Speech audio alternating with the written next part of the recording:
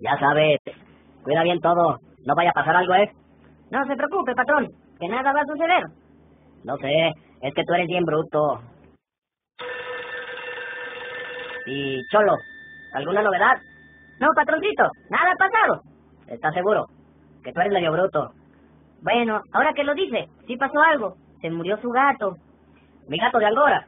¿Cómo que se murió mi gato? Se murió de indigestión. ¿Cómo que de indigestión? Si solo comía atún y caviar. Es que comió carne de caballo. ¿Qué caballo? Su caballo, pues, patrón. Es que se murió y había que aprovechar la carne. ¡Bruto! ¿Qué pasó con mi caballo?